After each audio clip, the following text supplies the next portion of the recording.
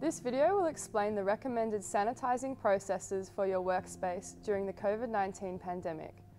Ensure that you understand the requirements of your workspace, have read any relevant risk assessments, safe work instructions and completed the relevant safety inductions. Wash or sanitise your hands before starting work and apply the appropriate personal protective equipment which may include a face covering, gloves, safety glasses, lab coats and the like. Locate the sanitising supplies that should be available in your space. Look for paper towel, sanitizer spray or sanitising wipes. Nitrile gloves may also be provided.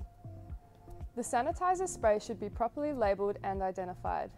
In the case of a spill, please consult the supervisors of your space or activity for the correct cleanup procedure.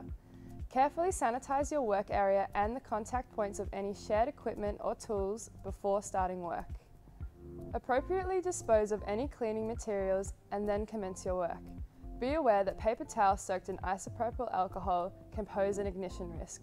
If hot items are common in your workspace, ensure that they are not deposited into the same bins as this waste. Any tools or equipment that you use should be left out in your work area to serve as a reminder that they need to be sanitised at the end of the work session.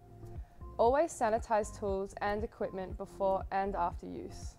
If you need to share equipment or work on the same item as other people, sanitize your hands first and wear nitrile gloves if available.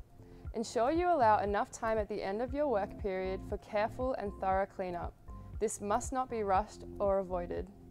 Once your work is complete, sanitize your hands or don nitrile gloves, and then carefully clean and sanitize all tools and equipment and return to storage.